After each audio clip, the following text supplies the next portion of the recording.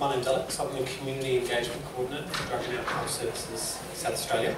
I've been with the organisation for a while, but quite importantly, my position is one of the lived experience position. Um, and so people in this role need to be the experience themselves or support somebody else um, with their journey uh, and experience with alcohol and drugs.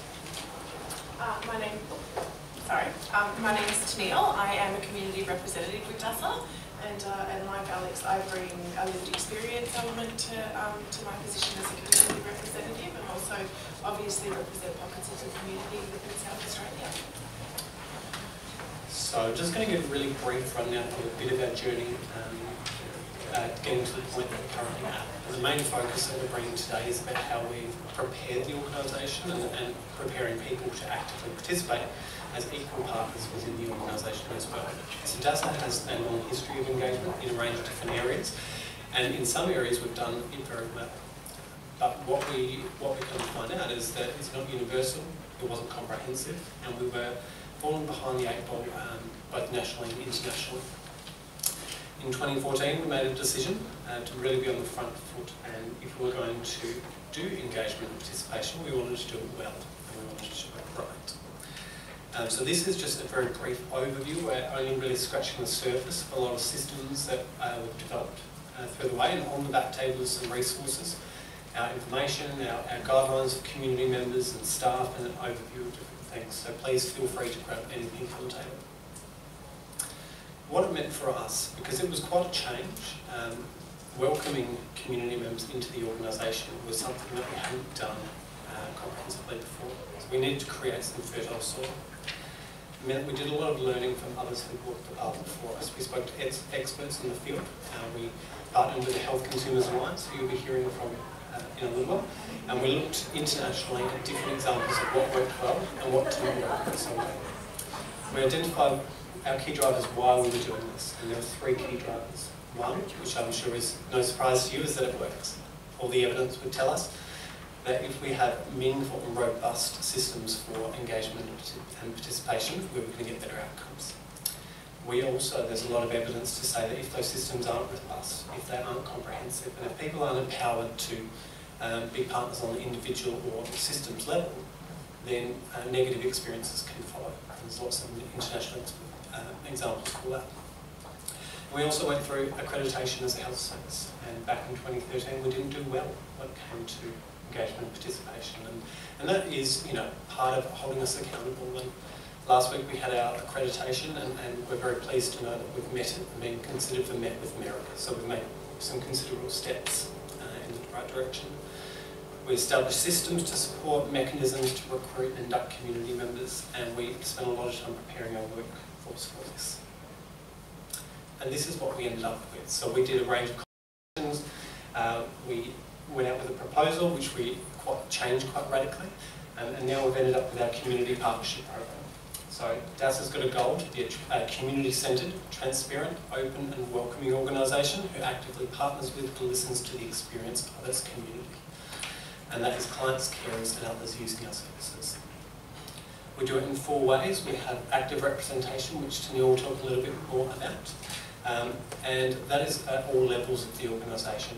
Um, our executive group that meets on a weekly basis has a community advocate position there, right through uh, all of our programs. We measure community experience. We've been doing some work redeveloping our uh, client satisfaction survey so that it not only reaches people who are easy to reach, who are in our inpatient settings, who can easily talk to, but is actually statewide and representative of people from Mount Gambier through to the APY Lands and everywhere in between. We redeveloped our feedback system and, and our um, feedback pamphlets on that um, because we wanted to open it so that people not only provide us a complaint, but also could provide advice and suggestions and compliments. But more than that, that we'd actually do something with it and we would get back to people more close the loop. Um, and continuous quality improvement, taking that mantra of we asked, you said, and we did. And finally, remembering that the community member is the most important person in the room. We are, after all, a public service agency.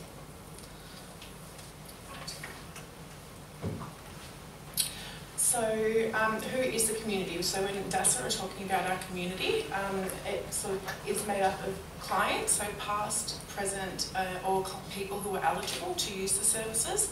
carers for those people, so dependents, partners, um, family members of, of people who um, could be clients, and anybody who has an interest in or is impacted by alcohol, tobacco, and other drug policies.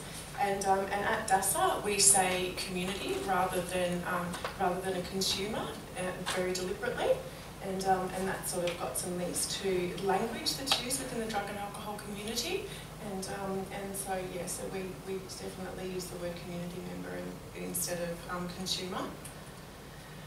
Um, yeah, so roles within DASSA, we have a couple of different levels of participation and a couple of ways in which people can engage. And, um, and so community participants are inducted and trained community members that um, participate and provide advice through their own lived experience.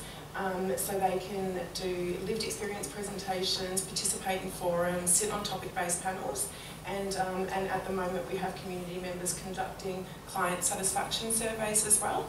Um, and then there are community representatives such as myself and, um, and so in addition to the things that, that can be done by community participants, um, members like me represent the experience of particular subnets of the, um, subsets of the community and, um, and the activities there can um, include facilitating engagements and training. So I myself have taken part um, in working with HCA and Alex to develop um, community participation and engagement training um, for DASSA. Um, sit on strategic committees um, as a community community advocate and like Alex said, um, there, there is a position for a consumer advocate on the executive group, which meets weekly, and, um, and participating in staff recruitment panels. There's, there's a number of opportunities, other opportunities as well, but we had to sort of narrow it down for the purposes of meeting our time limits. Um, the Community Advisory Council has been something that has been a work in progress over the last probably 18 months and this is the model that we work by for the Community Advisory Council. So um, once every month um, community representatives, the community partnership program staff being Alex and, um, and another woman, and um, the manager for safety and quality and the state and clinical directors of DASSA come together to consider um, the performance data, safety and quality data, topic-based panel recommendations, feedback, etc., so that um, it can come out as advice for advice to executive, um, advice to the clinical exec, um, advice to SA Health. And so we're looking at using all of this information and community input to be able to, um, to have impact on, on the provision of, of drug and alcohol services in South Australia. This is Alex. One of the real challenges that we face um, as a service is the diversity of our community. Um, it's not only cultural diversity, age, gender, it's also people's relationship with alcohol and other drugs. And, um, and we had to do a lot of work uh, building the capacity of our staff to really be open to all the, all the different uh, views um, because in one way or another, the decisions of the organisation impact everybody in this room. Um, and we really wanted to use that community to break down the stereotype of what a client was. You know, some of our staff had a negative experience with clients, and when we started talking about having a client being, uh, or someone who's experienced um, being a service user on an interview panel, we had a lot of pushback. You know, and so we had to dispel a lot of myths. We had to go out and use um, engagement champions and, and, train our workforce. And one of the really big strengths is that we made a mandatory training, um, a three-hour face-to-face training, which is something that Tenille and I have facilitated now to over 82% of the workforce. And that's made a really big impact. Um, and creating that opportunity for people to not only look at where we need to go, but also recognise how they already do a really good job within their local areas at partnering with people. And that might be clinically within you know, someone's own treatment, um, or it could be a lot broader than that. So to demonstrate. How long did that process take you? Yeah, so we, it was probably mid-2015 that we started developing the training module. It took a couple of months to develop and then we had quite an intense um, delivery program and, and, over about eight weeks we did 13 sessions across different areas of DASSA um, and it's continued uh, thereafter. We wanted to do it in a short succession to have quite a large impact so that we could roll everything out. And we, and we did the training prior to officially launching the Community Partnership Program. Alright, so with role plays, what generally happens is that there's a couple of keen people and everyone else kind of sits back and avoids contact and start turning on each other, and so we, we know that's the case. But oh despite that, we need five volunteers. So this is an actual, this is actually an activity that we use in our training, and so that's why we decided to sort of bring it today and to have people do it today. So we'll open auditions. There are five positions available for any aspiring actors or someone who hasn't quite had the opportunity to live their dream. Um, yes, so we have Margaret, who is the chairperson or director of medicine. Is anyone an aspiring Margaret? We hear all the, all the, all the options. We've got about five minutes for you guys to finish this up, so let's just jump in there, folks, like, jump Yeah. down the front. come on up. I'll leave one for you, Alex. Right. So we have a Tony, Manager of Clinical Services. We have a Tony. Oh, we've got two Tonys. Happy Tony, thank you. And we also have a Maria, Quality Manager. Would you like to be Maria? Thank you very much. So this role play is very much about inclusive practice. Um, because one thing that most of you will know that when you start sitting around a committee for some time, you start talking in acronyms. We have Tim, Community Representative. I'm looking around the back of the room. It, it can be Tina if you like, but we're happy with Tim. Okay, and one more, and that is Sam, Senior Research Consultant. Oh, Thank you so much. So everyone just needs to read their section um, and remember who they are. We will have to use the microphone, so I will pass the microphone to Margaret. You're welcome. Look, it's great that you're here, Tim. As you were saying, it's important that we understand as a service how clients' lives are improving. Our next item is about our project on measuring client outcomes. We've just started and we're looking to develop a framework across the whole service. Sam's reporting on it. How's the framework going, Sam? Sam? Well, we were just talking. Well, we were just talking before about how the client measures fit together. We've got the MAP and the ATOM as key, key global tools, and the general health instruments include the SF36 and the GAF. These are well known and should work well across our cohorts.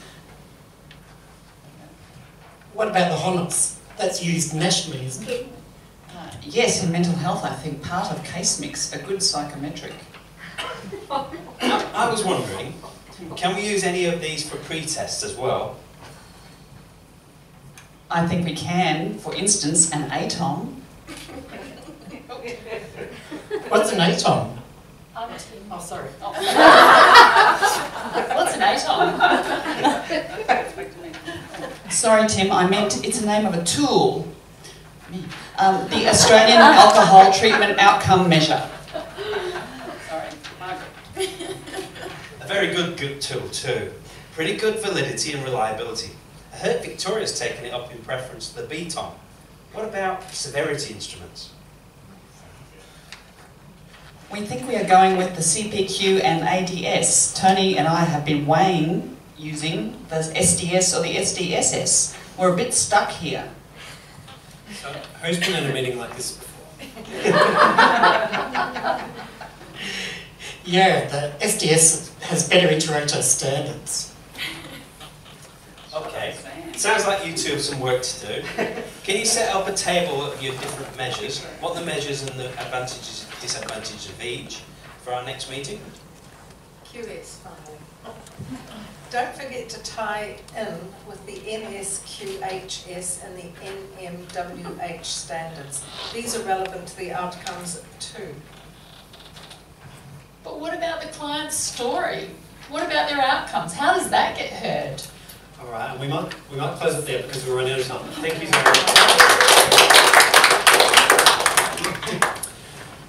So this generally starts a discussion and we have staff in the room that says, I felt like that too, and, and we really flesh out, well, the things we need to think about when we're welcoming people who are not part of the organisation to be active partners, because it has to be an equal uh, opportunity for us to get the results that we're looking for. Yeah, and so, oh, on that, um, I just wanted to quickly speak about what participa- participation has felt like for me as someone who has come in as a community member and, and engages in, in DASSA. And, um, and I can certainly say that I do feel quite equal when I come into the room. As I said earlier, I've, I've taken part in, um, in co-facilitating and, and doing and developing the training and been on the executive committee and those sorts of things. And, um, and I've always felt valued and, and really heard. And I think that there's a couple of reasons why that's the case. And, um, and, I, and as I said, I have participated in other things as well, and it is always the case. And, um, and I believe that creating meaningful opportunities for engagement is a part of that. And, um, and also the changing culture that has taken place that's um, within DASSA as well. So when we first started training, we were met, met with a little bit of resistance and, and there was a lot of discussion around the why why are they having the opportunity to speak when we don't and really looking at really looking at those, those attitudes and being able to shift those and um, and now it's interesting now because I think as my confidence has grown um, doing the training within DASSA and participating within DASSA, it's really, it is also my presence within DASSA has normalised and, um, and I think that that's a really important part of participation is that I'm no longer, oh, just Neil, the community rep who does the training. I'm, I'm at DASSA quite often and, um, and floating around. We have hot desks, I have um, an SA Health email, so I have access to online training resources and all of those sorts of things just as staff would. Um, I have a mentor as well, so if, if I need help preparing for any events or any of those sorts of things, and I have that as well, as well as the opportunity to be able to debrief. Um, there is those structured support systems in place, and I think that that's really important as well. Be that the there's um, remittance that people get, as I said, there's mentoring, there's um, there are systems in place for, for the support of people who want to participate or to be a representative and meeting people where they're at in terms of what kind of engagement they want to be involved in, I think is another really important part of um, of community members being able to come in and feel um, and feel safe and feel comfortable and, and to feel included in the process of engagement and and creating a space where um, people feel that they that they will be heard and um, and so that really comes down to the individuals in the room as well. So having a really good chair is a part of that and having staff members around the table who are really really open to hearing what community members have to say and giving them space and time to be able to complete their thoughts and, and actually contribute. And if you're having community members who are a little bit more quiet or standoffish inviting them to speak, you know, and if, and if people aren't comfortable speaking in a forum like this, for example, then finding a space where they will be, and um, whether that be, you know, through written feedback or through one-on-one sessions for something different, then, um, then yeah, really meeting people where they're comfortable. Um, would you like to? Yeah, so just, just in, in closing, because we are now running into um, time, um, one thing that I think is really important and really essential within organisations is to have a variety of opportunities for people. We have 64 community members who are on our register who come in, have the opportunity to come in, and not all of them want to be as involved as Tenille. And so there's a, a, a, range of different options, and some of those are outlined in the resources at the back. But you know, being community-centred in participation also means providing different options. Um, we'll hang around afterwards, and we're going into lunch, so there'll be um, plenty of time to discuss this stuff or hand directly over to Um, while Michael's setting up, he's the Chief Executive of the Health Consumers Alliance of South Australia. Thank you. Um, so today I'm going to be talking about um, the process we, we led to establish a Consumer Communication Committee for Transforming Health. I'll outline what Transforming Health is, I'll outline some of the challenges and opportunities involved, and also um, finish with uh, some of the critical success factors or enabling factors that uh, we've identified through this process. So I also acknowledge that we're meeting on Kaurna land and pay my respects to all elders past and present, and also acknowledge their important connection to land. So Health Consumers Alliance, we're a peak body, we're funded by SA Health, our health department here in South Australia, and we've got a, mission, a vision around getting consumers to be at the heart of healthcare, and uh, our mission is to be a strong and effective voice for consumers. Um, there's a lot of evidence about the importance of consumer participation in health. There's a quote that uh, provides some of that evidence, and it continues, and I've also put there the, the source for that. It's the Australian Commission on Safety and Quality in Healthcare. Importantly, they have identified um, the, that uh, partnering with consumers is such an important aspect of uh, delivering a quality health service that they've um, ensconced that in a national standard that health services are required to be accredited against, and that's standard number two, partnering with consumers. Um, the setting is unfortunately uh, state state uh, have to meet those standards, so so there has been a culture of uh, of discomfort and and, uh, and viewing that their decisions don't need to abide by the national safety and quality standards for um, for health consumer for um, health services, and so they don't have to meet that standard. Um, Transforming Health is a major program to reorganise our metropolitan hospitals in South Australia, in Adelaide, um, and the reasons being that um, they did a review of uh, what's happening in South Australia, um, and we found out we had more highest number of doctors, and nurses on hospital beds and the greatest expenditure per head of population. Yet we weren't getting the, the, the best possible health outcomes for, for that expenditure.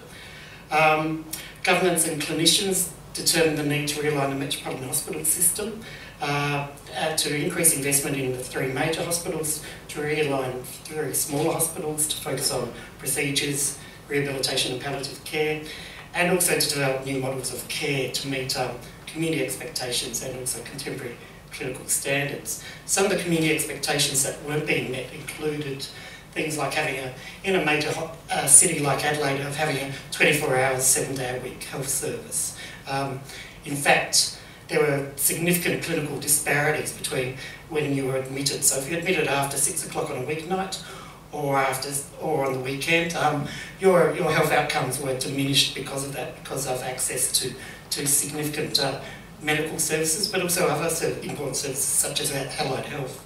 Um, so we didn't have a 24-hour, seven-day-a-week health service here in South Australia, and uh, that's certainly not what the community expects, and not what you expect when you're paying the most per head of population for that health service. When I'm talking about health service, I'm really talking about the uh, major public hospitals in, in Adelaide, not, um, not private hospitals nor um, in, in country South Australia. Um, the timeline, uh, this was really kicked off by the May 2014 federal budget, which um, foreshadowed significant budget cuts. Uh, quickly on, the minister he decided that um, he needed to engage clinicians in, in looking at what they would do about those budget cuts. There was, in October, there was a discussion paper. In November, uh, we held our first uh, consumer forum as a, the Health Consumers Alliance.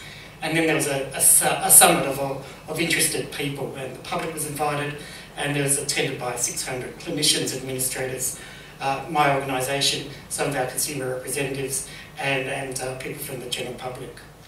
Um, a proposals paper came out of that summit, uh, next steps paper, and then we held our second consumer forum. And then in July, um, we were invited to join the Ministerial Clinical Advisory Group, and the Consumer Engagement Committee was established.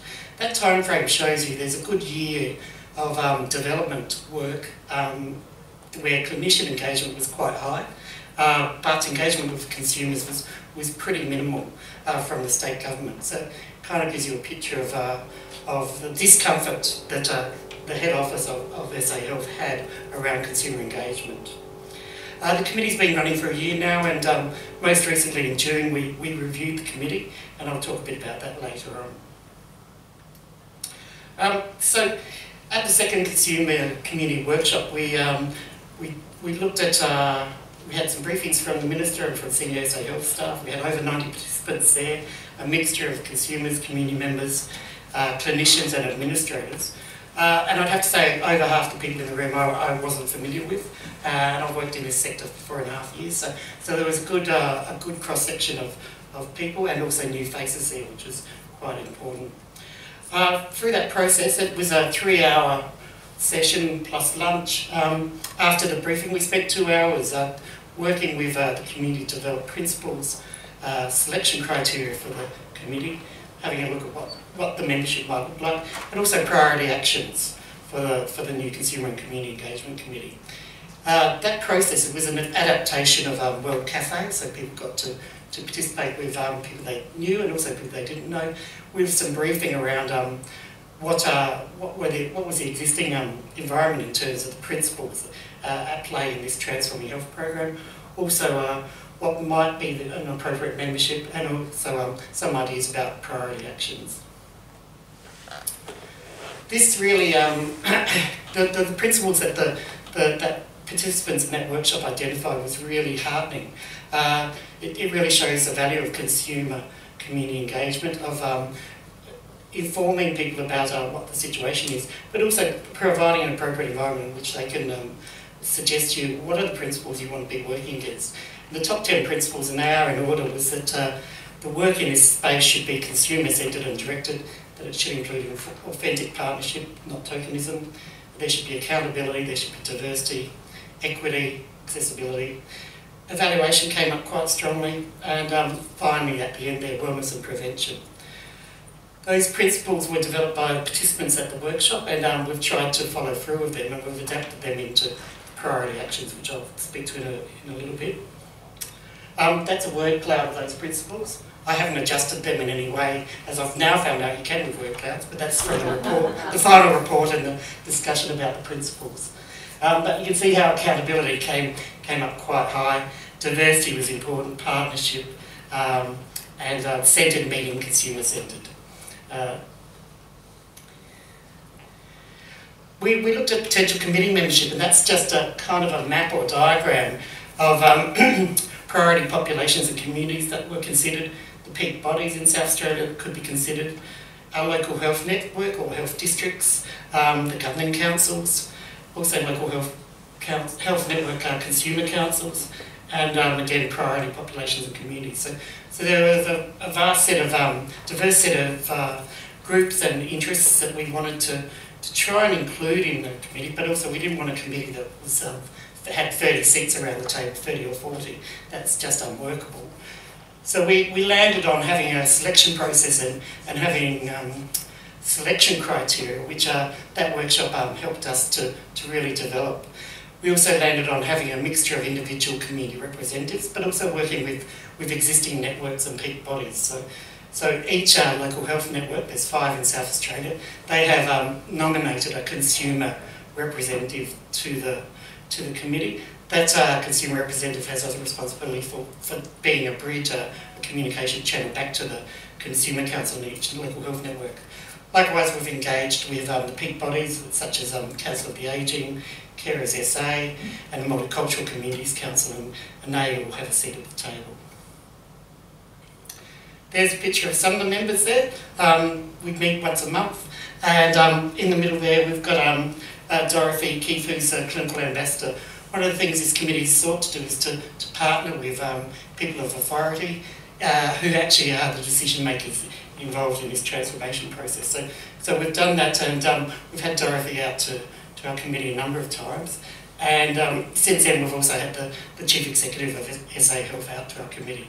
That, uh, that partnership and, and building that uh, relationship with those decision makers has been key to, to, to to building the confidence of the committee, but also to, to delivering on um, the committee's expectations.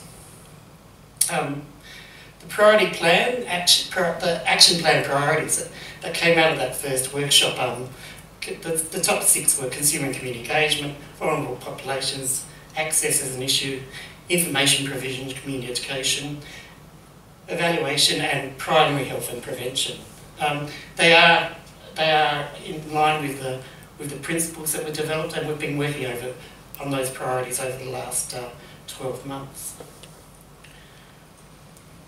Now, um, what are some of the challenges we've, we've encountered in this? This is actually a very, um, it's a high profile change program for, for the state government. Uh, it's become very politicised, uh, almost from day one, um, and there, there's a lot of partisan politics at play in this process. Um, there's been high expectations of the significance of the reform. It was described initially as a burning platform, um, and it's the only agenda in town if you're talking to, to the health department. Initi at the start of this process, the minister and department could be described as being uncomfortable with consumer participation. There's a lot of reasons around that, but um, I think it was a very genuine um, expression of where things were at at the start of this process, and it was shown by the, the way that our consumer advocates are really excluding that first year of development of this program. Um, there's also the risk-adverse nature of government, and particularly um, the head office of uh, the health department, and you see this across Australia. I think I've worked interstate and I've, I've certainly noticed it in other state head offices. Um, they're conservative in their communication strategies. There's a lot of controlling behaviours. Uh, there's a lack of openness, transparency, and trust. I'm beginning to see some that is really turning around now, but that was the situation for really the first year of the work of the committee. So we weren't even able to, to access the high level um, work plan for this major change in our hospital system. So it was quite difficult for the committee to adequately advise on consumer engagement strategies and, and, and community views without knowing what the work plan actually looked like in, in any sort of detail. there are expectations of the role of the committee, both from government, some parts of government, some parts of the department, and also from the Health Consumers Alliance ourselves, my organisation. Um, sometimes resources weren't, met, weren't matching expectations, uh, and priorities, personnel and timeframes changed. I mean, they do change. It's the reality in working in a, in a dynamic, complex system. Uh, but sometimes those changes led to disappointment. For example, early on, um, well, we had one one um, non-clinical leader on the on the program who committed to developing a consumer and community engagement uh, strategy. That was never followed through on, but it was in writing. It's in one of the reports, and it was a commitment. Uh, but things moved and changed. I don't think some members of the committee's uh, expectations uh, kept up with the changes that were occurring. So there was a fair bit of disappointment there for some individuals. We have a diverse membership, which is great, but also that leads to different expectations and, um, you know, sometimes some conflict around what their role is at the, in the committee uh, uh, against what the whole of the committee might consider their role to be. So some people felt very uncomfortable that the committee might be seen to be endorsing the government program instead of um, working with the program in a different way. So there, I've described that further. Committee views and individual views can differ. Um, it's um, not unusual on issues of, of significant political sensitivity. Yep. Um, increasing poor profile with this change program in the media. Every problem in the health system is now blamed on this program. So it's um, virtually a day doesn't go by without being in the, the print media. Good thing not much of the population reads that print media anymore, but um, there's still a lot of good in this program, which is why we're still um, working on it. And also um, health staff and consumer representatives have been subjected to, to personal abuse um, and the police have been involved in some situations for, for health staff. It's become that hot, the debate and um, uh, culture around this change program. There's a picture of the Committee of Work. Um, the opportunities, we've seen an increase in consumer participation in the health system reform. Um, we've improved the perception of consumer participation improved the standing of consumer movement in the eyes of decision makers. We've um, increased the stand, the, we've got a standing consumer focus group for SA Health to use if they want to on, on this change program, and we've increased the sense and the active partnership with SA Health. There's also new executive leadership at SA Health, and um, they're very keen to, to increase uh, the work of the committee and uh, see what we can realistically achieve. Enabling factors include the ability of my organisation to assess the opportunities and risks in transforming health, to be agile and responsive to this significant change in the reorientation of our hospital system. I had a board that um, carefully considered the opportunities before us and the risks, and um, they supported uh, the idea of pursuing the reform and um, put out a public position statement about that. We did receive one-off funding to establish a committee. Uh, we had participation from SA Health staff in the committee's partners. And uh, having the principles, the selection criteria and priorities established uh, to establish the committee has been borne out to be a very useful way to go about uh, doing such a, such a piece of work. We worked with existing consumer networks and organisations. Um, that's a picture, that's our uh, chief executive of our health department, uh, Vickie Kaminski, she's from Canada, but um, she, she's now there at the committee. So um, that's been a significant change. Um, we never saw the previous uh, executive, but uh, she's been at the committee. She's sending her deputy CEO to committee meetings now regularly. Um, we've really got that, that sense of partnership and participation from the health department. Um, working with the decision makers has been vital to, to, to get a sense of achievement in, in this work. So if you're interested in more information, we've got a website which has a Transforming Health page with a number of documents documenting this history. There's also a page for the SA government, and you can follow us on Facebook or join our email list. Thank you.